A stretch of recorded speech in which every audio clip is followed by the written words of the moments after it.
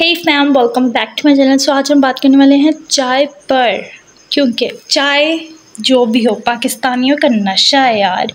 इलायची वाली चाय, अदरक वाली चाय, सौंफ वाली चाय, हर तरह की चाय लोगों को चाहिए। ऐसा है क्या चाय में?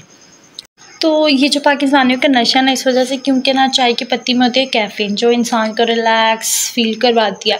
तो पाकिस्तानियों का ये है ना कि मतलब उठते चाय, उठते साथ ही चाय, नाश्ते के बाद चाय, नाश्ते से पहले, खाने से पहले, खाने के बाद सर में दर्द हो रही है, तब चाय। जब भी पूछा गया इन लोगों से चाय के बारे में तो भाई बस हमें एक कप चाय पिला दो। जहाँ इतनी चाय की बात हो ही रही है तो वहाँ हम उस शख्स का नाम भी ले लेते हैं, जिसकी चाय बहुत मशहूर है, चाय वाला, अरशद ख़ान। तो कुछ लोग बहुत चाय का कहते हैं तो लोग ये भी कहते हैं, लोग कहते हैं, चाय में रखा क्या है? मैं पूछता हूँ, चाय के बगैर ज़िंदगी ही क्या है? पाकिस्तान में जो है ना अक्सर होता है कि लोग मोहल्लेदारों को, ख़ानदान वालों को बुलाते हैं और मिल बैठ के चाय पीते हैं, कुछ गपशप लड़ाते हैं तो बस पाकिस्तानी हूँ, आज के लिए इतना ही। बस चाय पीते रहो, सेहतमंद रहो, तंदुरुस्त रहो। अल्लाह हाफिज़।